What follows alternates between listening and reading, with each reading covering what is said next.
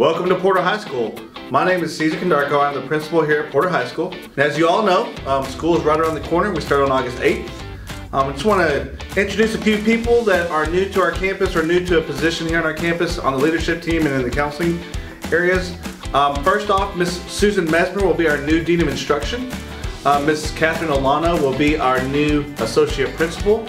Um, we have two new assistant principals. One is Mr. Reese, who was a former social studies teacher here on our campus, and then Mr. Guillen will be one of our new assistant principals who will be coming from outside the district. I would also like to introduce our counseling team.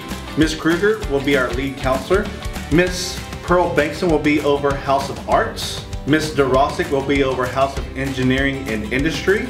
Miss Rodriguez will be House of Business and Public Service. And Miss Renee Blakeney will be over freshmen and our law enforcement students. Parents, I also want you to be aware of our new school hours. As you are aware, we are moving to an earlier start time. Uh, school will begin at 7.15. Our doors for students to come into the building will open at 6.45. Our last class period will end at 2.50. Many of our parents love to drop off our students that first week of school and so there will be more traffic than normal those first few days of school. We ask our parents to please stay away from our horseshoe here in the front of the building um, while the cones are out.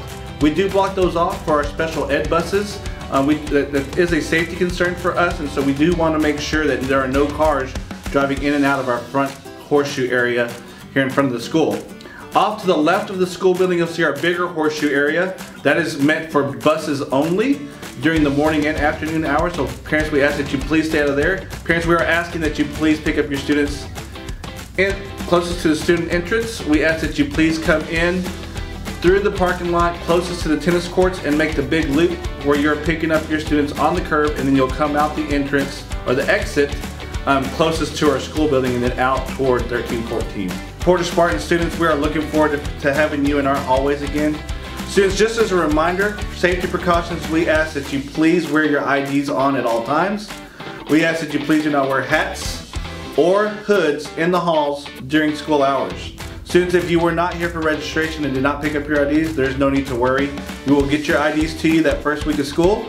If you need a bus tag, same thing, we will get those bus tags to you and distributed those first uh, couple of days of school. Chromebooks will also be delivered to all of our students on Wednesday, August the 10th. Um, our technology department will be here on campus to develop to distribute all of our Chromebooks to all of our students. Students, again, we are looking forward to having you here on our campus. I cannot wait for this new school year. Go Spartans!